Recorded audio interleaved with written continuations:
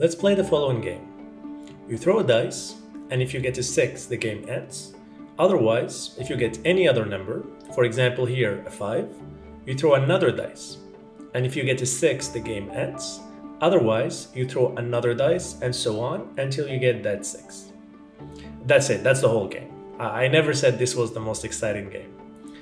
So let's make it a bit more exciting. Uh, let's say that every time that you get to throw a dice, you get paid $1.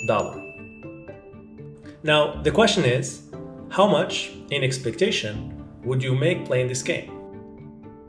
If you play again and again, a large number of games, how much would you make on average?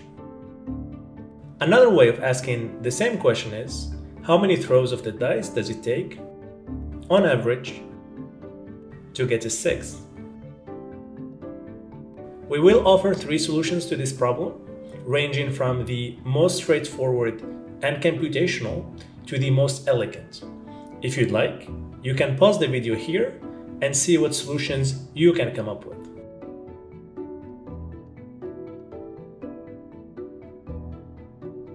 Let us denote by t the number of throws that it takes to get the first six, and note that t is a random variable, so it would vary from one game to another. And what we're interested in is the expectation of t.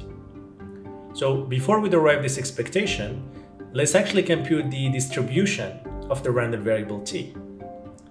So t takes positive integer values only, so let's compute the probability that t equals k for every positive integer k. The probability of t equals 1 is 1 over 6, assuming the dice is fair, this is because there are six possible outcomes and they are all equally likely. Easy enough. What is probability that t equals 2?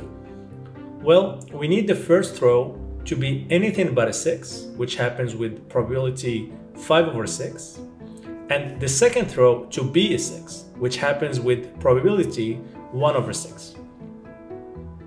How about the probability that t equals 3?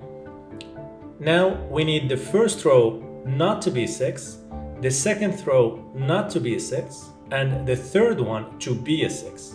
In other words, this probability is given by 5 over 6 squared times 1 over 6. More generally, the probability that t equals k is given by 5 over 6 to the k minus 1 times 1 over 6. Now, in order to compute the expectation of t, what we need to do is multiply each probability with its respective value and take the sum.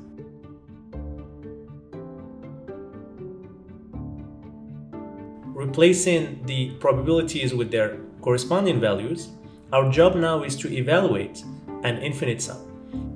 I have warned you that this solution is the most computational, and now we see why. Anyway, we have come this far and we're not gonna stop so close to the goal. The first thing I'm gonna do now is pull the 1 over 6 out of the sum since it is a constant. Next, I'm gonna use a neat little formula known as the infinite geometric series. We will take derivatives of both sides of this identity. The derivative of the right hand side is 1 over 1 minus x squared, and for the left hand side, we're gonna take the derivative term by term. And we're gonna use the fact that the derivative of x to the k is given by k, x to the k minus 1. We multiply the left hand side and right hand side by 1 minus x. And finally, we replace x with 5 over 6. And lo and behold, the left hand side is exactly the formula that we found for the expectation of t. And the right hand side simply evaluates to 6. The answer turns out to be surprisingly clean, despite the fact that the formulas we used were kinda messy. You might wonder if there is a better way to go about this problem, and indeed there is one, and that's what we will do next. Before we do that though, we make few observations. Incidentally, the answer happens to be 6, which is the face of the dice we were looking for. This is easily seen to be just a coincidence though, since the answer wouldn't change if the game had stopped after say a 4 rather than a 6. The 6 actually comes from the fact that the probability of getting any number from a fair dice is 1 over 6. And more generally, if an event has probability p of happening, we expect that it would take 1 over p tries before the event happens for the first time. For example, it would take two coin flips on average to get the first head, since the probability of getting a head or a tail is one half.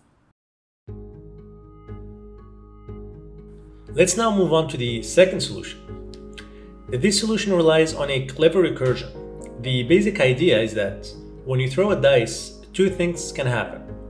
With probability 1 over 6, you get a 6, in which case the game ends right away.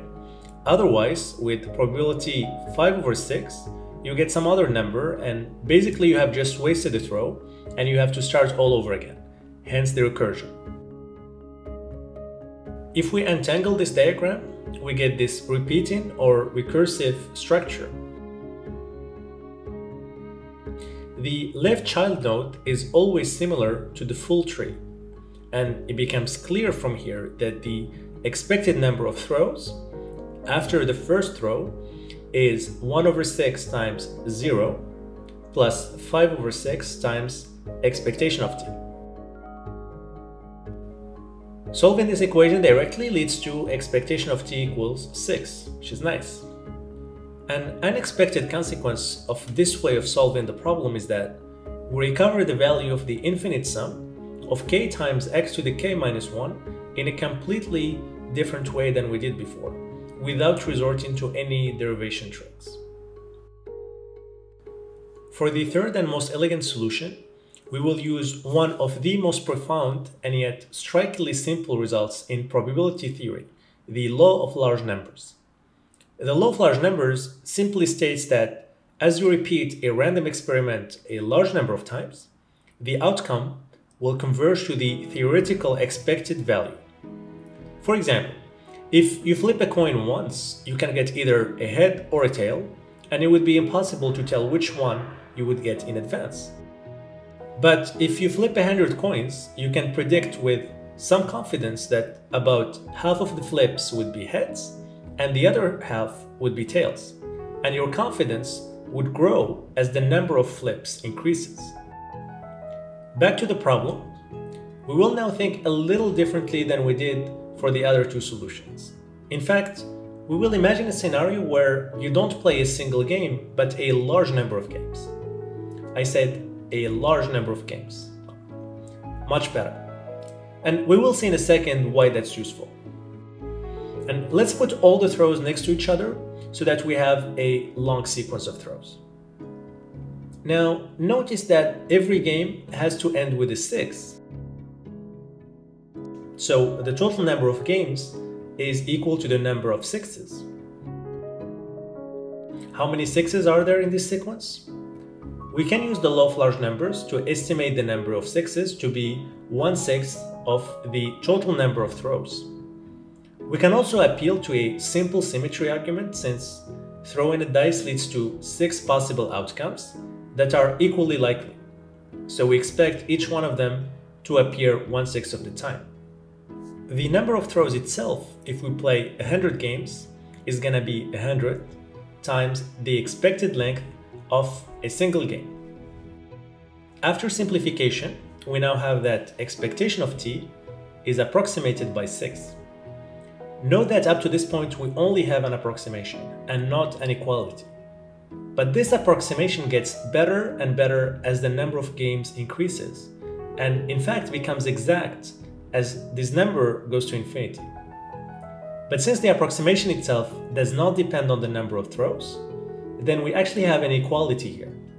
This is one of those times where it feels like we are strengthening a result for free, meaning we go from an approximation to an equality without any extra effort, and this is thanks to the law of large numbers. If you want to check your understanding of the three solutions presented here, try to answer the following questions. What is the median number of throws required to get the first six?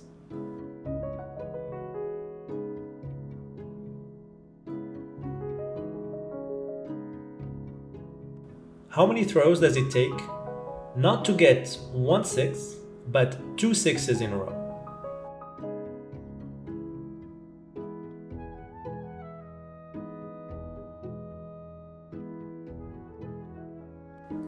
How many throws does it take to get a 6 conditioned on the fact that all the throws so far were even?